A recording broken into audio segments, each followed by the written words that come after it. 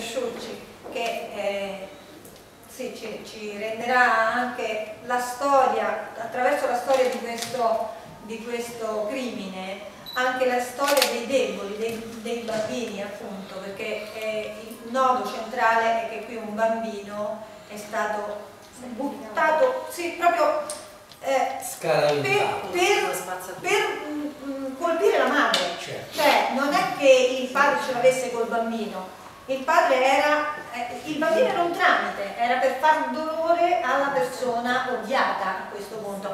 Quindi ecco, mi sembra almeno doveroso che quest'uomo stia in galera, quantomeno.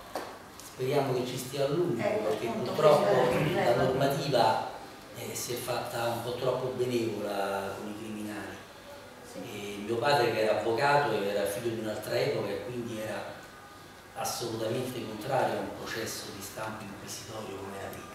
Adesso si è passati al, al, diciamo, al programma, al rito accusatorio e quindi le cose si sono evolute forse un po' troppo a favore di chi eh, tende a violare la legge. Eh, soprattutto adesso la, ci sono tre provvedimenti che formano un cocktail eh, troppo forte a favore di chi commette reati molto violenti.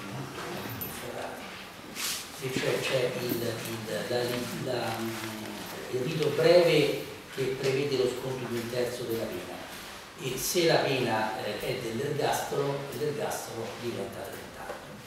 Quindi eh, questo gentiluomo che ha ucciso il figlio eh, praticamente è stato condannato all'ergastolo ma con rito breve è diventata la pena da 30 anni.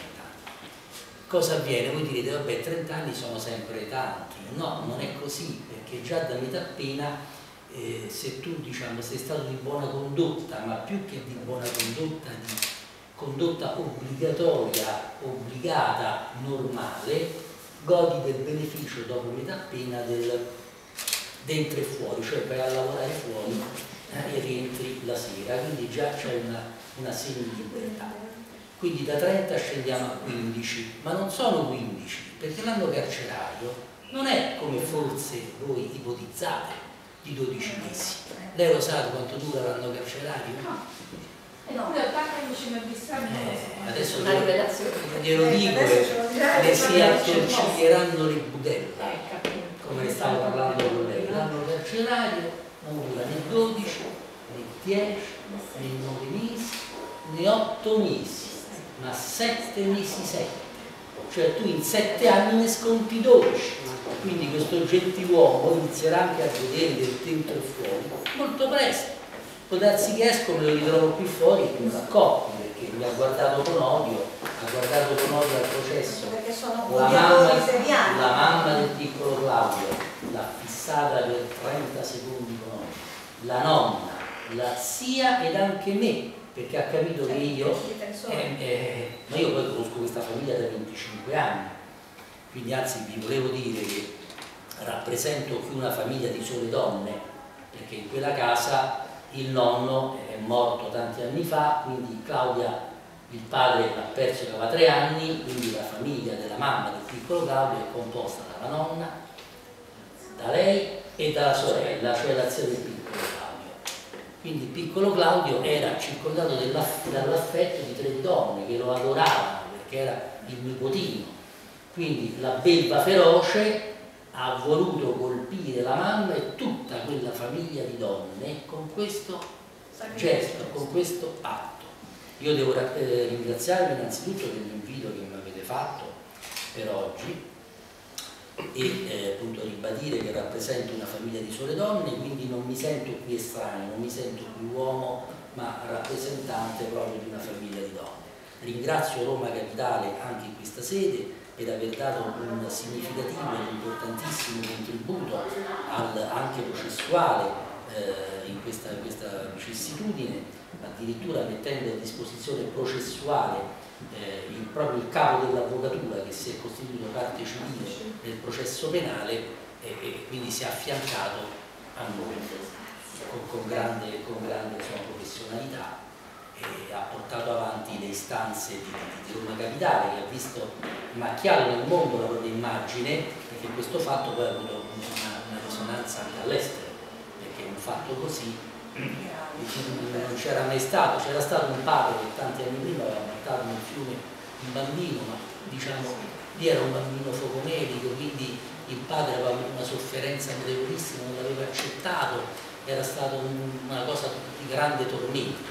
Questo invece è un femminicidio triangolato, come io dissi subito al comandante della stazione dei carabinieri che eh, l'hanno arrestato, l'hanno fermato, riconnettendo questo terribile fatto a quello di tanti anni prima di un padre che addirittura di figli ne uccise tre, trasformando la macchina in una camera a gas e uccidendo i tre bambini, Tullio Brigida.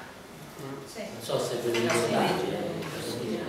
Sì, infatti questa è una pratica che è appunto, come si diceva, il femminicidio si è evoluto. Questa è una delle evoluzioni pesanti. Beh, però fortunatamente è ancora piuttosto limitata, ecco, non è... Limitata, ma il figlio che viene, che viene, istigato contro la madre, ancora senza ah, arrivare certo, all'uccisione, certo, certo, il figlio che viene usato come, certo. come mezzo certo, per... Me, eh, o come quello è sulla madre, quello è comissimo, usare il figlio, usare il figlio e fare pressione per fare pressioni sulla madre a volte capita anche eh, l'inverso, quindi voglio dire, poi ci sono anche donne che lo fanno, però normalmente questo bambino in mezzo, senza arrivare ad essere ucciso, spesso nelle questioni eh, madre-padre è quello che viene proprio usato, è proprio un mezzo, diventa non più una persona. Io volevo anche, eh, ecco, magari interrogarci insieme sul fatto della certezza della pena. Le donne spesso non denunciano, hanno paura a denunciare, perché ecco, questa, questo personaggio eh, chiaramente eh, reo di un delitto atroce eh, sarà fuori tra pochi anni. Quindi è evidente che una donna ha una difficoltà a fidarsi delle istituzioni e andare a denunciare, perché comunque si sente non protetta, si sente in, in in pericolo, mette in pericolo sé e addirittura un, in più ai suoi figli. Eh, certamente. Cresce il pericolo eh, più che essere difesa eh, denunciando. Questo, questo delle volte c'è anche dell'altro. Qui purtroppo la mamma del piccolo Claudio era stata colpita con un violento pugno al naso da questo soggetto che aveva fratturato il naso e dovette poi ricoverarsi con un'operazione al seno.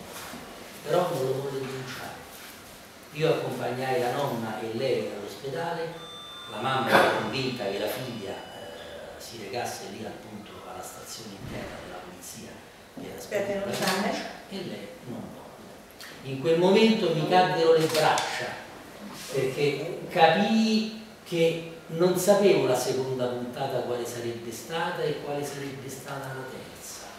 Perché sì, però lo lasciò, lo lasciò, lo lasciò dopo otto mesi l'ha perdonato, l'amore, che ne so, io a capire. Fatto stato ha perdonato e la seconda puntata stata ci saranno stati senz'altro altri piccoli episodi di violenza, di pizzichi su, sulle braccia, io poi non sapevo, poi io non è che avevo potere in quella famiglia perché non sono nessuno, li conosco da 25 anni, però più che dire a Claudia ma sei sicura qua lasso e giù non è che ti puoi esporre più di tanto perché non è sono il padre dello zio non familiare. E quindi purtroppo il secondo round della seconda puntata è stata l'uccisione del bambino, che è stato preso proprio per un oggetto, come si, si legge in sentenza, egli, il mostro, voleva il bambino oggetto che era suo e non della suocera, perché eh, lui nella testa sua distorta eh, vedeva questa una, una, rivalità con la suocera perché era protettiva nei confronti del bambino e della, e della mamma, ma una suocera che si prende i mezzi da, da Trastevere, va a Corviale dove abitava, va lì e smonta le tende e lava e fa il bucato e lo stende, se ne ritorna con il piccolo a casa per dare sollievo alla figlia, lo, lo fa dormire, lo mette a letto, gli prepara la pappina della sera, eccetera, lo riporta il giorno dopo. E poi dopo due giorni ritorna e fa questo su giù, eccetera ma non era un'ingerenza, era un aiuto che voleva essere, voleva essere forte, voleva essere sostanzioso nei confronti anche di quest'uomo che tra l'altro non è che avesse un lavoro, lavori un sì, po' così, tant'è tant'è che si era preso una condanna per piccolo spaccio